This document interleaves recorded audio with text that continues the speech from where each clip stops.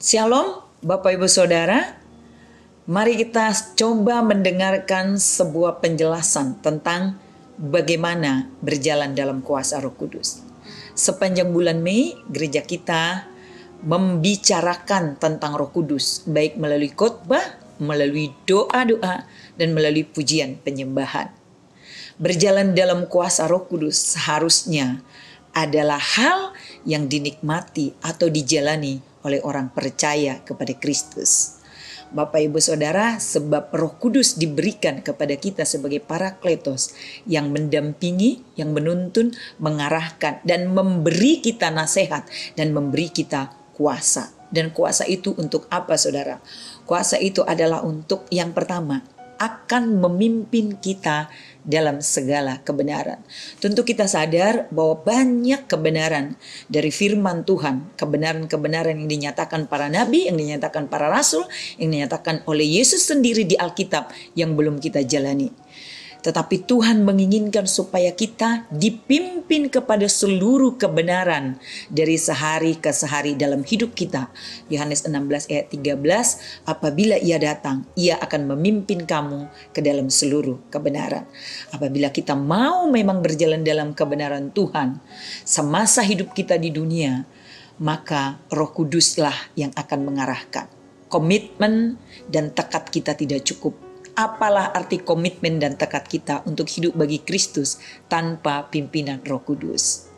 Yang kedua, berjalan dalam kuasa Roh Kudus. Roh Kudus diberikan kepada kita supaya kita dalam hidup kita mengalirkan aliran-aliran air hidup bagi banyak orang. Yohanes 7 ayat 38 sampai 39 dikatakan bahwa kita akan mengalirkan aliran-aliran air hidup itu berbicara tentang Roh Kudus yang ada di dalam hidup kita. Kita akan memberikan pengaruh, dampak, hal-hal yang baik, hal-hal yang positif, hal-hal yang akan mengarahkan orang-orang di sekitar kita kepada kebenaran. Kemudian berjalan dalam kuasa Roh Kudus. Roh Kudus diberikan kepada kita adalah untuk kita menjadi saksi, memberitakan Injil dan menyatakan kuasa penyelamatan Kristus kepada dunia. Kisah para Rasul 1 ayat yang ke-8 bahwa dikatakan apabila aku akan memberikan kuasa kepadamu untuk menjadi saksiku di Yerusalem, di Samaria, di Yudea, dan sampai ke ujung bumi.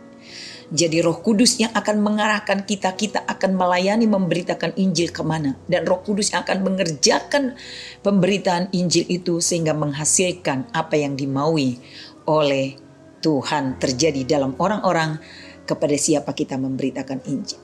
Jadi marilah kita berjalan dalam kuasa Roh Kudus karena Roh Kudus adalah janji terbesar yang kita sebut janji Bapa yang diberikan kepada kita. Bapak Ibu Saudara, tekad komitmen untuk mengikut Kristus tidak cukup, tapi kuasa Roh Kudus yang akan memampukan kita menggenapi seluruh kehendak Allah dalam kehidupan kita. Dia ada di samping kita, Mari kita menyadarinya, melibatkannya, menyapa dia, menerima kuasa yang dari dia dengan keberanian yang dari Roh Kudus. Kita akan melakukan seluruh kehendak Allah dalam kehidupan kita.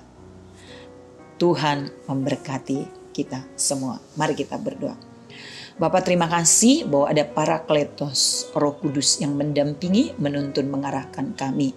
Supaya kami berjalan dalam kuasa roh kudus Itulah janji Bapa yang termatrai untuk kami sepanjang kami diberikan kesempatan dan waktu di bumi ini sampai kami menuju kekekalanmu.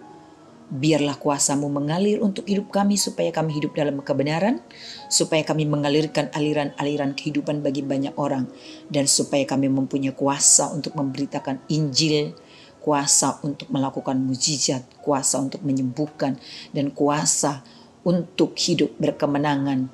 Ini hidup kami, pakailah kami, dan kami rindu selalu roh kudus menolong kami sampai Tuhan Yesus datang kedua kali untuk membawa kami kepada kekekalanmu. Terima kasih Tuhan, segala pujian syukur kemuliaan bagimu. Dalam nama Tuhan Yesus kami berdoa. Haleluya. Amin.